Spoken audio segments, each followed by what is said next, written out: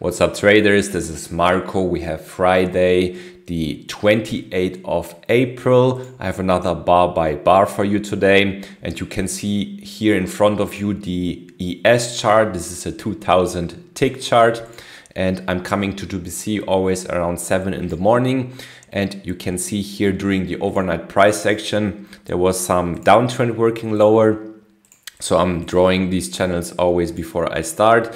You can see there was a break, retest of the lows, and from there some bigger range here, some congestion area. And um, just before the market opened, uh, you can see here an uptrend working higher. You can see how prices make higher lows and higher highs like um, constantly here and leaving the range to the top side. So right now, um, this downtrend here played out by a break new low. Then we had some range movement and now we're pushing higher here within this shorter term uptrend channel. So the bias is uh, slightly uh, bullish. We're looking for long and let's see how this goes. I will zoom in here a bit so that you can see this better. So we have a first entry and at the opening, we get a second entry long here um, of the EMA, of the um, resistance of the channel, uh, of this like range channel that turns into support. And also notice we have a first break of this uptrend. And after an uptrend is broken, we wait and expect a retest of the highs. So we have a new high here. So first entry, second entry long with a perfect bullish bar. And I really like this setup here on a second entry long. I can understand if you say that, for example, you are not taking this trade because it's right at the opening. Um, I think differently a bit because um, I think in general you can take trades during the opening. Uh, but yeah, they can be tricky and there can be fast movements. So make sure that your stops are uh, in place. And I took this trade live today. I can show you even the markers. Uh, as you know, I'm trading always uh, three contracts on 10 accounts. So this trade scalped out perfectly. And yeah, prices were uh, retesting the highs, making new highs here and uh, going higher from there. Also, if you uh, have a look, also there is a triple uh, test here. You can see prices are taking this support here and prices are just bouncing off the EMA, making a very nice setup bar here. So I really like this setup live. So this that's why I took it and yeah, prices were trending higher here. Um, then we can think about a um, spike and channel structure, for example, where you um, take, because you can see uh, prices are flattening out a bit, like it's not like a spike structure here, but you can see that prices are uh, being a bit flatter here. So I'm drawing a spike and channel uh, structure and see how it goes. Usually we are still bullish, so we're waiting for long setups, ideally from the key entry point in EMA. Uh, we get a bounce back here, back to the EMA, but no setup. This is only a first entry long and prices take off without um, waiting for us, without giving us any setup. Going higher here, uh, and this channel here broke for the first time and prices are retesting the highs. So by that moment, I was thinking about a bigger structure, for example, if you take uh, from here, let's say, and connect this. So you take from the lowest point that was made during the overnight price action and you connect the, the last recent swings here. Then this bigger uptrend channel here is forming and you can see prices are respecting the resistance here and of course I'm always drawing the shorter term uh, channels here you uh, know this by now and look if you see all those tiny candles here working higher, this is usually um, or this is typical uh, typically for an uptrend. We have like tiny um, candles working higher and like some uh, minor corrections back to the EMA and back to the key entry point. This midline of the channel is being respected at the moment. And uh, yeah, we're still waiting for good uh, setups here, but you can see some range forming up here. There's a breakout out of, out of this range, but in general, we are looking for longs right now. So um, yeah, I'm not interesting, uh, interested in uh, taking any shorts right now. Right now, prices pulled back to the EMA. And if we are taking this channel, maybe even we can draw it like a bit tighter, like this. That also looks pretty fine. If we connect the highs and the lows, then you can see the midline here is uh, fitting even better a bit. And now we also have some confirmations of the support here.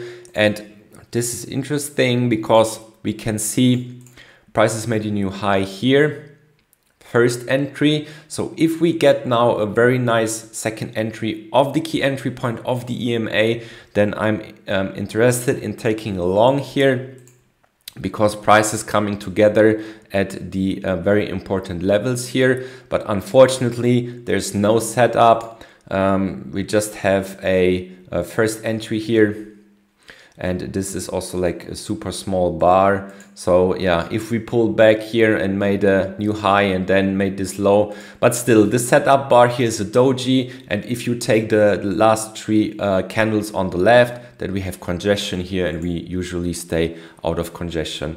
Prices work higher here. You can see um, that we just missed uh, a potential setup, but it was not forming in the way uh, how we are trading. And whenever we are not sure, we are skipping this. There's a shorter term channel working higher.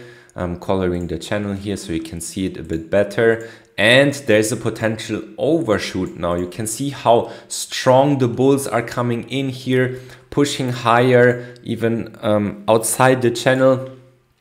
And I think you can draw um, an own channel for this movement maybe it's even a bit tighter like this.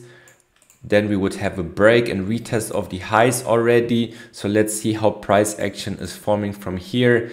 Um, don't um, start with shorting this because with such a strong move here um, prices could easily uh, turn back and make a new high after that because there is a potential that a bigger structure is in play here. So I will uh, leave it um, like this right now and see how prices are playing out. Okay, here uh, we get a bounce back, but see how prices are flying above the um, EMA here. We are not getting a pullback back to the EMA to consider a long setup. No, we are flying above the EMA here on a second entry, yes, but um, this is far above the EMA and um, I usually like to see and take um, trades that are much closer to the EMA. But of course, we can consider increasing our trend channel here and you can see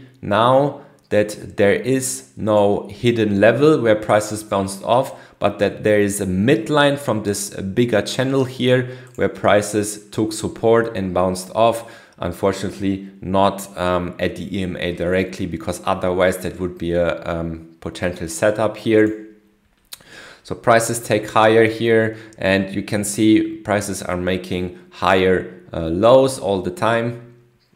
But right now we cannot take a setup here because this is way too far above the EMA. Um, the bias is still strong. Bullish, so we're looking for longs at this point still. Um, if you treat this not as an overshoot but part of a bigger channel and you can see the midline is fitting pretty nicely here. The midline is respected as support and also the midline is aligning with the EMA and when you see this then um, those levels get very very strong and prices behave and um, bounce off those levels uh, usually drawing the shorter term channel like this. Yeah, this is strong bullish. We are pushing here strongly above the EMA. We don't even have pullbacks here. You can see all the pullbacks that are made are directly taken out. Bears try to pull back here to the to take profits or even to scalp out if they entered here, for example, then they are uh, cost averaging by entering another position but it's hard to get out of this position right now because prices are pulling higher and higher. And you will see like those explosive uh, moves usually when when uh, bears are not getting out of their orders. Now they are finally uh, getting out you can see this very strong pullback here this is also profit taking of this huge um, bull uh, buy here and we are getting um, some kind of uh, second entry long here. You can see prices made a new high, pull back. We are not breaking above this level here. Uh, all in this candle here, breaking above, pulling back. I'm not sure which way happened like first, but still, I mean, um, we cannot take a setup here because it's very stacked up. I, I, want to see prices coming back to the key entry point and the key entry point is this uh, channel support here. And with this strong bear push below the EMA, I really want to see what's what's happening. Um, if we get, for example, a second leg down, that would be directly at the key entry point of the uh, channel here. And yeah, we are getting a second leg down, so maybe we can even draw like a measured move. And you can see this is pretty much hit to the tick. We're going even further than that. And that's a change in behavior for sure. Bears are coming in. They're selling this strongly. Also, this is the first break of this huge uptrend here. So we can uh, expect a retest of the highs and we have to see how this is playing out. But in my head, I'm telling myself, okay, this big uptrend here is broken now. So I'm waiting for a retest of the highs, which is pretty much at this level here. You can see now this blue line. So I'm still interested in uh, taking longs, but yeah, right now uh, it's not very clear what prices are doing.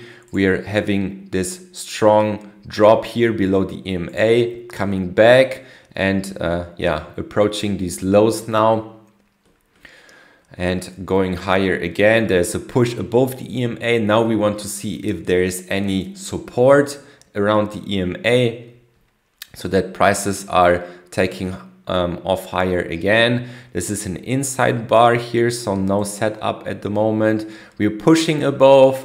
The EMA is providing some support at this level. And yeah, what I was saying before, we have this uptrend first break. So now we want to see a retest of the highs and prices are going higher here. It will be interesting to see what prices are doing when we are approaching the uh, last highs that were made um, here. So we have this shorter term channel working higher here, a first break of this, and now a retest of the highs of this shorter term channel here, but also of the overall um, bull channel that was created here shortly after the opening. Um, but we are not making a new high here. So we're pulling back and selling off strongly here. You can see like the size of the bear bars and they are almost finishing on its low. So that's almost perfect bear bars um, working lower here. So yeah, um, by now, it could be already a finished retest. We didn't make a new high though, but sometimes this is happening that prices are retesting the highs. That's why it's called a retest and not making new highs. Um, because with this strong uh, push lower here, this is a um, reaction and you can see we're breaking this shorter term channel here for the first time um, making a new low. Right now, no setup to take because we, we wait, wait for pullbacks to the EMA. And um, yeah, this is like taking a trade far below here. Um, it's not very probable because prices could turn, pull back to the EMA and then go lower. So we wait for the um, high um, potential setups here. Prices pushing lower and lower I'm extending this channel because when you can see a first break of a channel and a couple of retested uh, retests, that means prices making new lows after new lows, then most likely it is that you have um, a bigger channel structure here in play. So prices breaking this channel, making a couple legs to a new low now and reversing. Uh, no setup here to take. So this channel here could be played out by now. And now we are turning again and we are pushing above the EMA again. After this uh, sell off here, the bulls are getting more power and pushing above the EMA. And I want to show you uh, where prices bounced here and they bounced exactly at the um, overnight highs you can see here, this is the overnight price action. So that means like potential sellers uh, that were selling here um, and selling all the way down here uh, were disappointed when prices turned and prices turn higher here. So all the sellers that are potentially stuck uh, at this level here they come out of their trades. They can take break even. They can take profits by coming to this level again. And you will see many times that prices are retesting the overnight highs or lows and then taking off from there. And the same happened here. We can see this is the overnight um, highs and prices are touching it pretty much to the tick and now finding suddenly some support here. So this is a sign. You can you can have a look at this. Um, the same happened yesterday for example and we're pushing strongly higher here. So it's I think it's time to draw a shorter term channel like this for now and I'm zooming in a bit more because otherwise it's hard to see we have a push above the EMA now a pullback to the EMA waiting for the reaction and you can see the reaction is positive. The EMA is providing some support here and we are trending higher from there. So maybe it's time a bit to change the trend channel. Um, going sideways here now, can see this is like bars are stacked up to each other. Going sideways here still finding some more support. Without touching the EMA you can see the lows that are made here going higher and higher. You can see this low here. Then at the next swing we are a bit higher than the last low. And at the next swing we're even higher than that. But we're not even touching the EMA so that's always an indication that prices will go higher here. And we're pushing strongly above the EMA without giving us a setup so now this is interesting because if I'm extending the channel like this, we get a new high here. First entry, second entry long, but the only problem I have with this is that the bar is finishing so far above the EMA.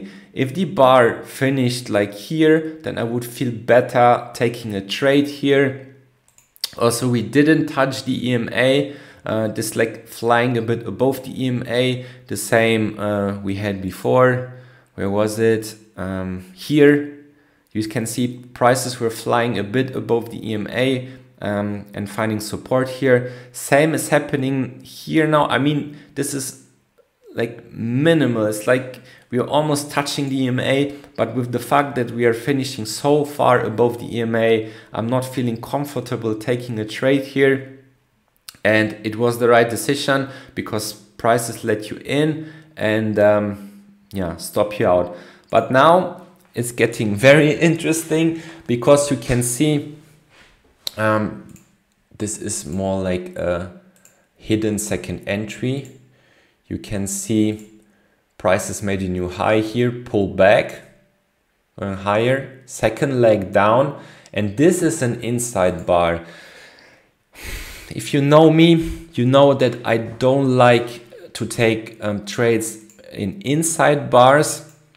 Um, if you split it down on a lower tick chart, then you would see like, for example, two clear legs down here and you could also see that prices and momentum is changing in this bar but it's just a rule of thumb for me that I'm not taking trades um, in inside bars so um, if you are a bit more um, friendly let's say to inside bars then this is a nice setup to take um, you can also see there is some uh, support here from this range before. We have the EMA here.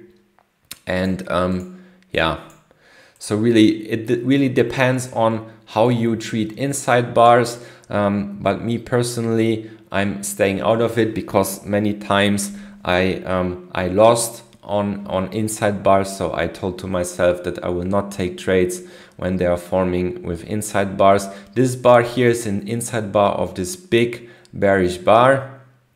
Before, if for example we take lower here, um, or even if we finished higher here, like higher than this uh, high of this bear candle, then maybe it's to consider. Mm, but for me personally, um, I don't like to take this, but I know um, I spoke with some of you guys, uh, you took that. So um, yeah, the trade works out here. So congrats on that. And I think you would even have a runner because prices are not coming back to your entry level here. And prices are taking higher. And we are approaching also the highs that were made here at the big uptrend channel. And uh, notice from before we were not making any new highs here. So after a drop lower here we are testing these highs one more time you will see this sometimes that um, for example the the bulls are not able to break through a certain level then they turn the market they take some let's say fuel some energy by selling off and then they're stopping out all the shorts that are entering here to take a new try or take a new attempt to break the last highs. And this very much looks like this I must say because with this big sell-off I, I can assure you many traders were thinking okay um, we're going short from here. We're going lower from here. So let's add positions here going short. And you can see this very big candle here. This this candle is bigger than all the candles before. Um, and then suddenly prices are reversing here and uh, taking out the shorts that were adding here. And also, of course the shorts are um, taking profits. So that gives enough momentum to make another attempt to break this high here that was made in the uptrend.